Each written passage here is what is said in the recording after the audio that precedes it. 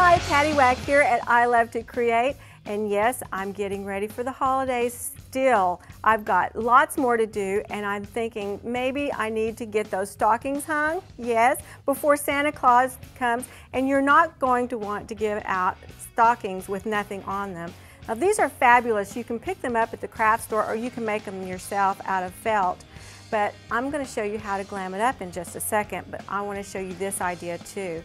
Cheryl Ball, one of our fabulous designers here at I Love to Create, did this. And I know a lot of you are into canning, and you've got to have a cute little glamorous tag to go along with it. She did the little hollies and the great tag here. This is just some scrapbooking paper and some felt. And then it has our ready to iron on design. It's already preset, you don't have to think about it, and the holly I thought was perfect for this. Now what's perfect for our little stocking? I'm thinking maybe the snowman. Now I haven't done him before and I've been looking at this. This is part studs and part crystals and rhinestones. Just about everything right here in one design. And as you can see, it's pretty big.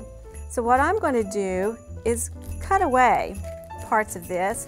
Now I'm going to put these little snowflakes aside because I can use these later for another design. Oh, these would be great for tags, wouldn't they? I'll keep those and maybe even give them to Cheryl and she can put them with some of her canned goods.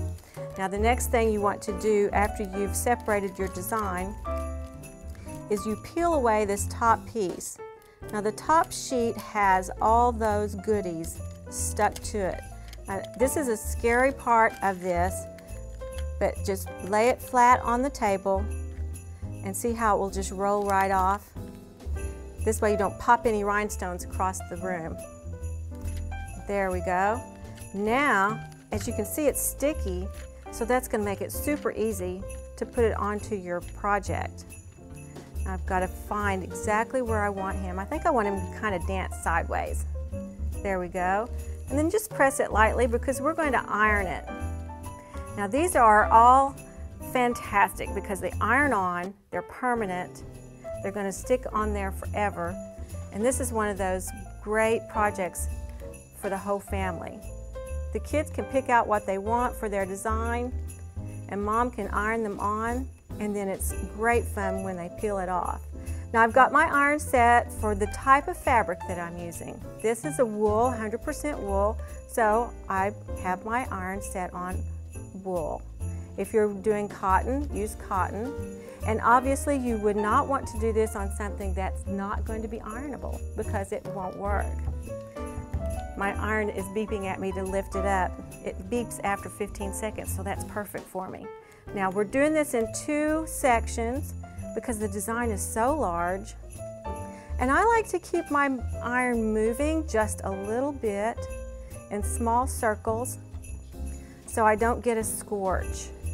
Now if you see your pressing cloth start to yellow, you've had it on there way too long and it's time to lift up your iron. There we go. You can see that the crystals and the studs and the rhinestones are going right down into the fabric and we're going to let this cool just a little bit. And you know what, as a great tip is if you have one of those chalkboard erasers, you can wipe it over that and it'll pull the heat from it quicker. Or you can take another fabric and just kind of move it over there and you can actually start the heat, making the heat come up into the cloth. There we go. Now we're ready to peel it. Are you ready? I get really excited at these kinds of things. Now if you're worried about any of those things, if they don't stick, you can always do it again. Ooh, this is beautiful. Ah, isn't that cute? Now there is a quick, quick craft for Christmas and you did it yourself. Now don't forget to go to our website and look at all the many selections of these Glam It Up designs and then you can go to your favorite craft store and get all the Glam It Ups that you want.